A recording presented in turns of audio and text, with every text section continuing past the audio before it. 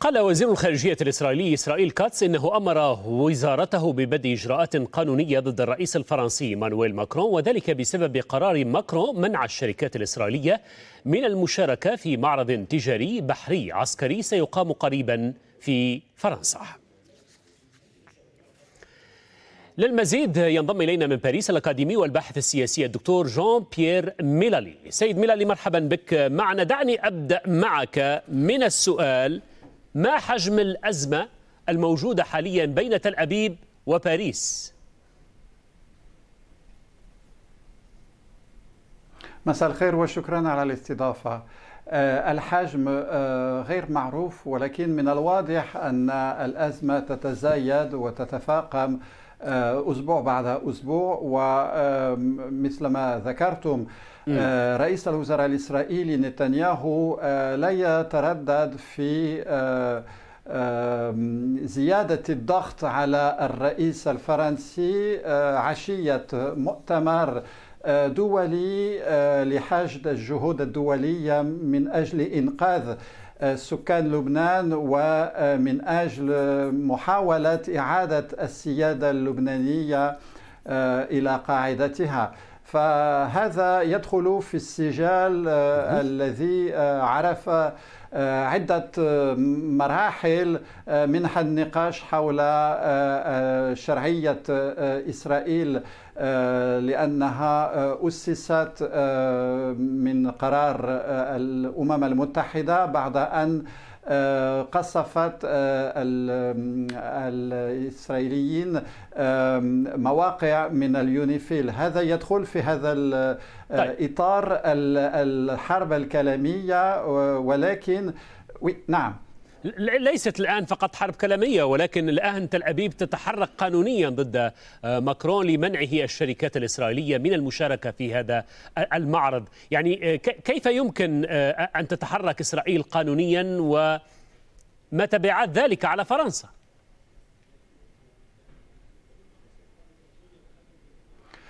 طبعا محاولة قانونية من هذا القبيل. أولا تأخذ وقتا طويلا والأحداث تتسارع في الشرق الأوسط.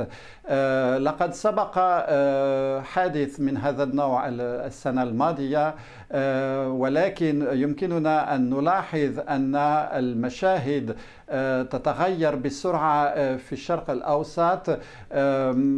عنوانها أن التفوق الإسرائيلي العسكري سمح لهذه الدولة مكاسب تكتيكية مفاجئة ولكن أو أو مهمة ولكن يبقى الاستراتيجية العامة غير واضحة.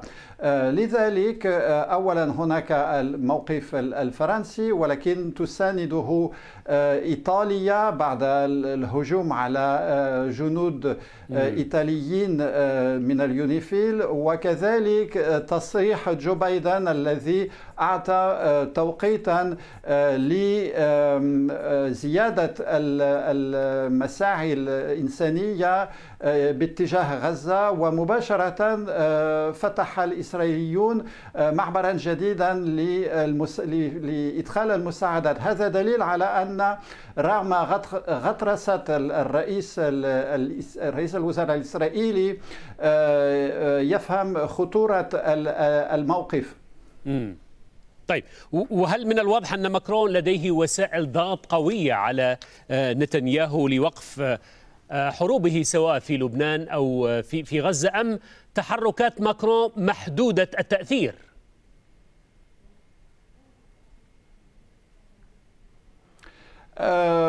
من لا يجرب لا يعرف بهذه البلبلة وبهذه الفوضى القائمتين في لبنان كما في غزة من لا يجرب لا يعرف حدود قوته أظن نعم. أن الرئيس ماكرون بمتابعته لهذا الملف منذ أشهر بل منذ سنوات يعرف حق المعرفة أن عليه أن يلعب دورا في هذه المناسبة المهمة بعد أولا سنة ونيف من من القتال الشرس في غزة مع خسارات بشرية هائلة في غزة والآن في لبنان وبعد قطع عنق حماس وحزب الله.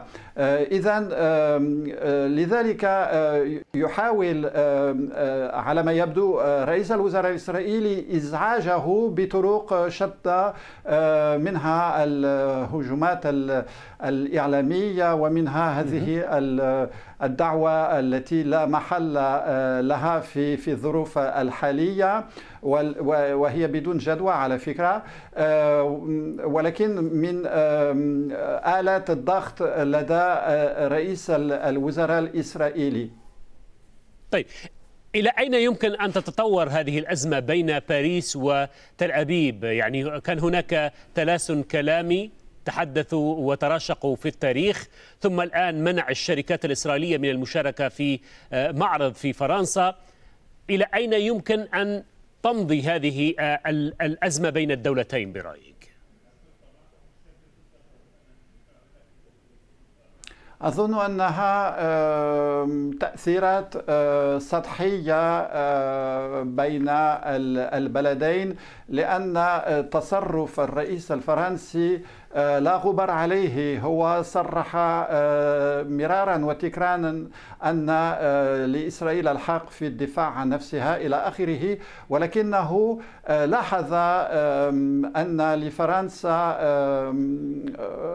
إمكان الدخول في المضمار الدبلوماسي من جديد. ولذلك طرح مؤتمر دوليا عندما القيادة الأمريكية موجودة لا شك في ذلك. ولكن ليس هناك على الأفق إلا نهاية عهد بايدن وفترة بدون قيادة حقيقية حتى بداية السنة المقبلة. فلذلك يتحرك الرئيس ماكرون خاصة وأن مر بمرحلة صعبة داخليا. فالمضمار الدبلوماسي يمكنه أن يكتسب ربما. برونق جديد لنهاية عهده نعم. الرئاسي. شكرا جزيلا لك دكتور جون بيير ميلالي الأكاديمي والباحث السياسي. كنت معنا من باريس. شكرا لك.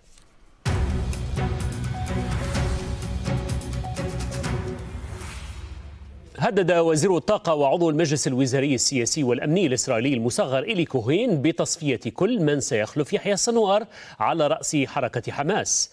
ودعا كوهين محتجزي الرهائن في غزة إلى إطلاق سراحهم مقابل الحفاظ على حياتهم مهددا بملاحقتهم مع عائلاتهم في حال لم يفعلوا ذلك.